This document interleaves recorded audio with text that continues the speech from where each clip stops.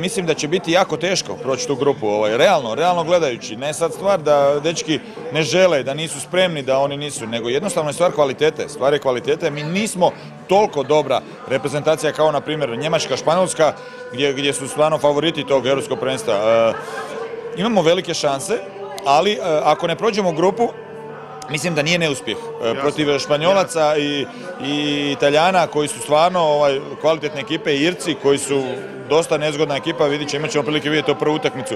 Mi tu očekujemo svi jednu pobjedu, jedan dobar rezultat. To bi bilo strašno za nas. Mi ćemo svi navijati, daćemo sve od sebe, ja znam da će dečki se boriti ko lavovi, e, a bude bilo malo sreće, e, mislim da možemo ovaj napraviti dosta. Međutim, kažem, ovaj, treba biti realan, ne treba raditi nekakvu ovaj, umjetnu atmosferu i nekakav pritisak rezultata, jer ipak ovaj, mislim da je sam dolazak ovdje uspjeh. E, kad god smo išli skromno na neko natjecanje, uvijek smo dobro prolazili. Tako da apeliram i na navijače i na sve.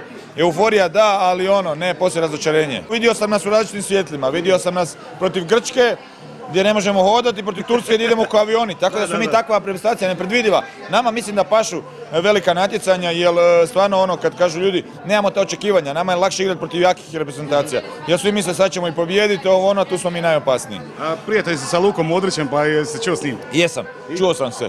Pa Luka se osvježio, Luka je spreman koji svi nema nikakve potrebe za nekakvim ovaj, sada e, provlačenjima e, vezano za jedno, za drugo, za formu, za ovo. Luka će biti spreman i ja mislim da će Luka biti stvarno nosioc naše igre i u sve druge dečke mislim da će biti ovaj, jedan od najboljih pojedinaca, naravno.